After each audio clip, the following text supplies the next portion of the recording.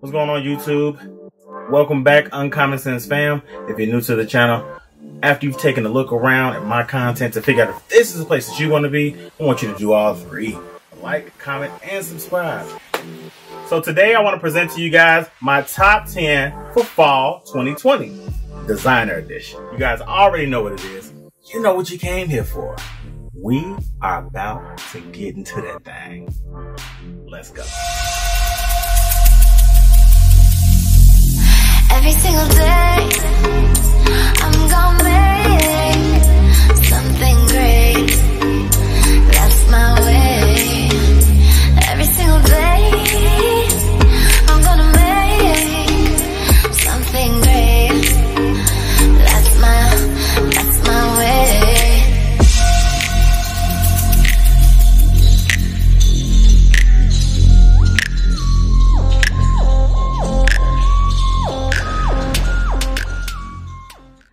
wouldn't be a top 10 fall designer list if I didn't go through at least one honorable mention. My first honorable mention is actually going to be from a house that is discontinuing their fragrance line, Fan di Fendi Pour Homme. It's actually one of my favorites for fall, but I'm noticing it's not performing well lately, but that could be due to a few different factors. One, it hasn't actually gotten cool yet here in Chicago, so maybe I need to wait it out. I was kind of concerned that this one may have went bad, but everything looks the same. And again, I've put some heavy mileage on this one. I've worn the heck out of this fragrance and I don't think it should be going bad, but I've just been noticing it's not lasting on my skin. Quite possibly, it could be something that I'm doing. This has made several lists. It continues to be one of my favorite designer fragrances in my collection. You may ask, what does it smell like?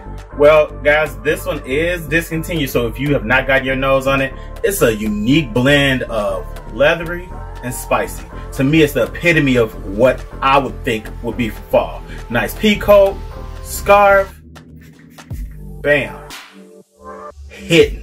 And it's very gentlemanly. I really enjoy this one. It's kind of in the vein of CH Men Privé. Fan di takes it a little more serious in the direction of spicy. So it's a smidge more spicy. I actually enjoy this fragrance and the spice that it has. I know usually most fragrances for me are gonna be spicy, leathery, or boozy. This manages all three in a very gentlemanly package. You guys can get this at a good price. I say pick it up. Another honorable mention, Guess Seductive Homme. Guess Seductive has that sweet, kind of violet accord. To me, this is a pretty good, affordable fragrance. I may have paid $20 for 3.4 ounce, taking a little knot out of it. But I'm looking forward to wearing this one a bit more in fall. Has somewhat of an aquatic nature, but it's balanced out by a very deep, sweet, gourmand type of base. That's all I can really tell in this one. Guess Seductive Homme gets billed as a warm, woody, spicy. And all I'm picking up in the beginning is just that sweetness. Actually, I was right. Violet and amber is what I'm picking up here. That's my second honorable mention for fall designer list. Look what we got on deck. Gotta have us some coffee beans to cleanse the olfactory palate. We're gonna be going through my top 10 fragrances that I'm gonna be reaching for this fall. That in no way, shape, form, or fashion means that I'm not going to be reaching for other fragrances in my collection. That would be crazy and that would be a lie. And I'm not here to lie to you guys. I'm here to share with you guys my journey. Out of all of the fragrances I own, these reached the top 10. Here we go. Coming in number 10. Burberry London. This one reminds me of fall big time. Trench coat, scarf, messenger bag. This one is woody, spicy. I detect some cinnamon in there. And it just reminds me of rainy days. I really feel like they captured what it feels to be in London. Because every time I've seen things going down in London, it was always rainy or gloomy. The fragrance itself is not gloomy, but the feel of what it feels like to be in a cooler temperature where it's kind of rainy and this fragrance just kind of captures that. Spicy, woody, it's alluring though. So it has a romantic type of feel where it kind of brings you in a little close. Again, that's gonna be my number 10 spot. It's gonna go to Burberry London. Let's get a little sniff. Mm, this coffee smells so good. Mm. Mm, mm, mm. Coming up to my number nine spot. We got Hanae Mori Hem. Hanae Mori Hem is often compared to Gucci Pour Homme 2. I don't own any Gucci's and I won't. I talked about that in my live that fragrance houses that have been showing a blatant lack and disregard for people of color and whether it be in their marketing, their hiring practices and all that, I'm not rocking with. That wasn't the reason why I bought this fragrance. I bought the fragrance because I actually enjoy the House of Hanae Mori. And this one to me embodies fall once again. Kind of reminds me of Apple Jacks on my skin. It's woody. A lot of the fragrances for men in fall are woody. And spicy. We get woody and spicy, we supposed to make nice. Hmm. Okay. I may need to try the Eau de Parfum, but we need to work through this one first. So I may be about a fifth of the way in, sixth, something like that. What I get out of this one, cinnamon, woods, maybe a little bit of cardamom. If you can find it for around the $25 range and you're still really building your collection, I think this is a great one to add to. I'm starting to slow down a little bit on buying so many fragrances at once I've really been buying a lot more discovery sets to figure out if there's anything else out there I want to go ahead and grasp.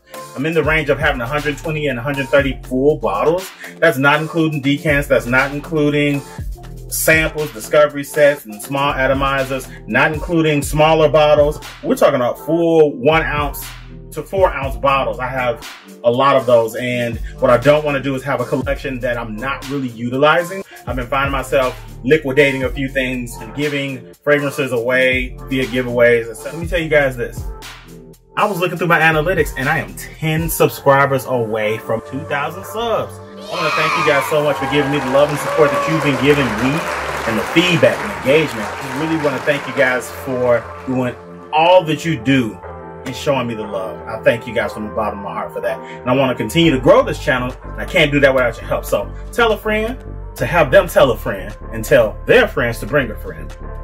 I upload at least once a week. Sometimes you'll get additional live with me and Dr. Rose or one of my other favorites in FragCom. I want you guys to continue to support me the way that you have been leave a comment. I don't ask this often, but make sure that you keep up with the bell so that way you know when I'm uploading hot, fresh new content so that you guys can keep up with me. Drop me a comment below. Let me know if you want to be entered in our 2K giveaway. We're going to be doing it real big for the 2K giveaway, so let me know. Between, we got to cleanse that palate. Mmm. Getting high fat. Coming in at a number eight spot. Azzaro Pour Homme nighttime. Don't see a lot of folks talking about it, but it has an uncommon note of rhubarb. It's very citric in the beginning. And the rhubarb almost comes off like a celery type of note. It's like a sweet celery. And I really feel like the spiciness of this will go very well with cooler nights. I'm definitely thinking October, November, this one's gonna get a lot of play for me even though for the most part we're still on quarantine, work from home type of situation, I usually still spray my fragrances regardless if I'm working from home or not. And another thing, like I was saying, having a larger collection, I did a little bit of math. Having about 120 bottles would mean I would only be able to wear each fragrance in my collection six times, provided that I changed fragrances at least three times a day that's going to be a bit of a stretch. In order to enjoy them, I'm going to have to do something a little different. I've actually upped my spray game. I usually do about maybe six or so. I kind of upped that to 10 for certain fragrances. I haven't had one go bad on me yet. I'm noticing some weaker performance out of this fragrance. And coming up to our number seven spot, we got Look at this presentation. I've talked about this one on several of my videos. I've talked about this one on the Red Kingdom. I've talked about this one in the first impression. And we're gonna talk about it right now in our fall 2020 top 10. Al Khanjar Banafa for Uber. Beautiful bottle, man. Middle Eastern perfumer. They based out of Saudi Arabia. I got this one online, I think out of a store that actually is up north Chicago. But I contacted the seller via eBay. This one screams fall. It is woody, spicy. The oud in this one is one of the ouds that I actually like. It's the resinous type of oud. I get notes of myrrh, incense, of course oud. It's a very resinous, dense fragrance that begs to be worn in fall. Folks, this is gonna be one of my uncommon scents. I don't see many folks talking about this one. How many of you folks have heard of this one, seen it, smelled it? Let me know, drop me a comment below. Rolling on up to my number six spot. We have Balmain Homme Paris. Huge blast of sweetness up front. This one performs really well though. I call this one the Big Blue Sweet Beast. This one made my Beast Mode fragrances list. And this one also made Bringing Out the Blues list as well. But when you a banger, you a banger. What can I say? You know what time it is. Mm. Let that. Also, do me a favor, check out my other videos. Let me know what you think about those. Thumbs up if you like what we're doing. Give us a thumbs down if you don't. And always leave a comment. Let me know what's going on. Now coming up to my number five spot. We halfway through this top 10 list. Damn time flies. But I appreciate you guys for sticking around and checking out my list. My number five spot is gonna go to Mac Velvet Teddy. Fellas, I already know what you're gonna say. But that's a woman's fragrance. It's a fragrance marketed toward women, but guess what? This one, in my nose, is a dead ringer for Tom Ford's Tobacco Vanille. I had a small sample of Tobacco Vanille. I smelled this one and liked it a little bit more. This one has a more prominent note of honey, which to my nose can just be a little cloying. So I have to wait for this one to settle before I can really start to enjoy it. This one to me also is an uncommon scent for the fellas. I'll see the ladies have this on some of their lists. And again, what can I say? If it's a great fragrance, I'm not one who is shy to give a fragrance that's marketed to a woman a try. I'm all about fragrance, health, beauty, all that. So if it's a fragrance out there that's typically marketed for the ladies, but it smells good on me, I'm rocking it. I don't give a damn. Coming up to number four, we have another uncommon scent. Velvet Amber Oud by Rihanah. You guys have seen me rave about this one in my Red Kingdom video. Nice atomizer too. It's woody, but it has a barbershop fougere type of feel. It's so clean and dapper. It's intoxicating. The oud in this one is so digestible to my nose. It's not off-putting, but it dries down to have a nice woody masculine smell. Oh, I love this one. What time it is?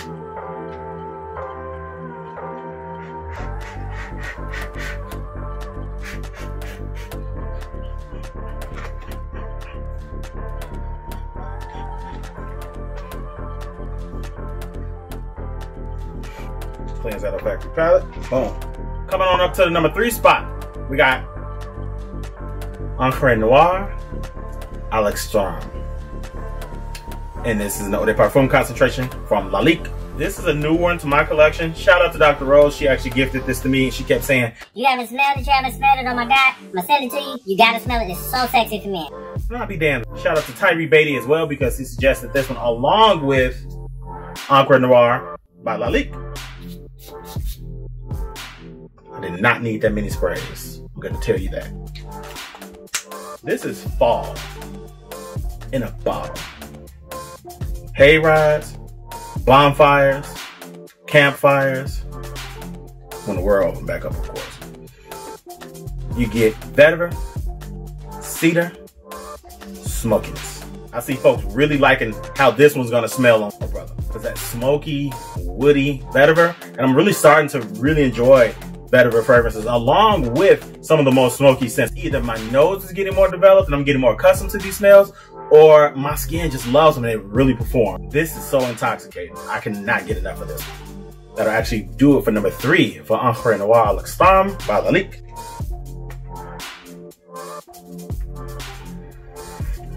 Cleanse Palate. Want to take a sniff? Hmm. Go ahead. Take a sniff. Okay. More for me. Coming up to my number two spot is a fragrance that I actually had on my fragrance wish list, but by the time I shot and edited it, one of my folks had already sent it to me. Shout out to Keita Washington, aka Akesia. That fragrance is gonna be Shaghaf Oud by Swiss Arabian. Fall. You hear me? Fall, fall, fall. Fall, fall, fall. A lot of folks says this is a direct dupe of Lancome's Oud Bouquet. Never smelled Lancome's Oud Bouquet. I'm gonna tell you what I get out of this one. I get three things.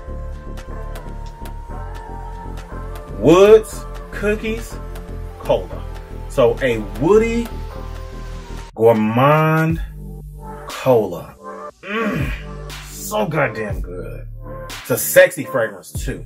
The oud in this one has a slight sharpness. It's like the, the notes play into each other very smoothly. So you get woods, gourmand, cola. Okay, it kind of has an effervescence to it. I can OD off this one, so y'all don't mind me. Talk amongst yourself while I get a little bit of this. Hmm. what time is it? Palate time. What time is it? Palate time. Okay, enough of that. We've made it to the number one spot. I appreciate you guys sticking around, hanging in there with me, enjoying uncommon sense. Okay? Okay. My number one pick for fall designer fragrances for 2020 Moschino Toy Boy. Listen, I have tried my hardest to not be aboard the hype train. I really did. I actually wore it one day when it was like 60 degrees. It was too damn good. The atomizer on here, that pressurized one, you know we like that pressurized atomizer. Like the Dior, like Jimmy Choo, now in Moschino's Toy Boy. this fragrance to me is so sophisticated.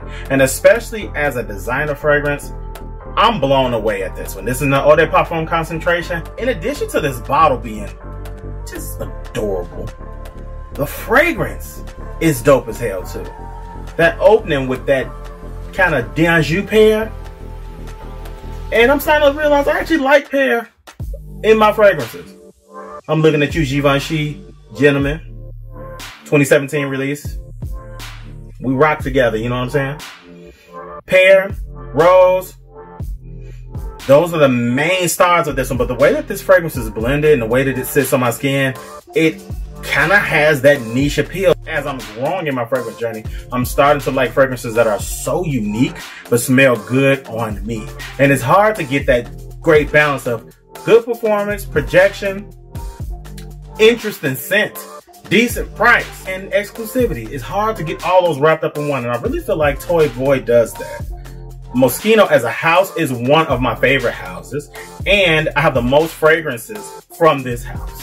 Moschino, they just rock, man. Like, ah, I love them. That's gonna do it for my fall top 10 2020 designer fragrances list. And I wanna thank you guys for sticking around and enjoying this list with me. Let me know what you thought about this video, these fragrances. What are some of your favorites? And again, it's your boy Uncommon Scentz. I love you from the bottom of my heart, the top, the sides, and all the way around. And I'm out. Till next time. All right, y'all.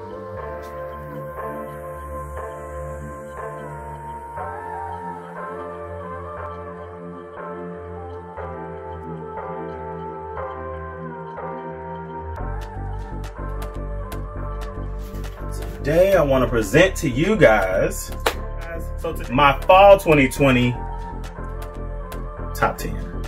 Have us today. Look what we got on deck. Let you settle down. Flip a ball.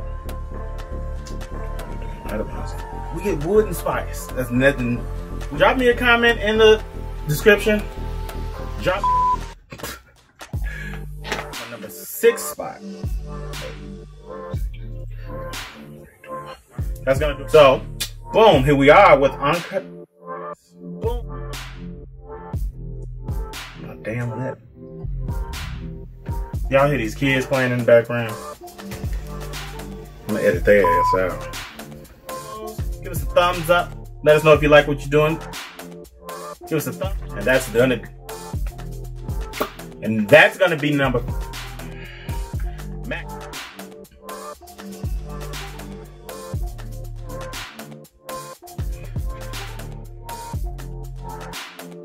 Música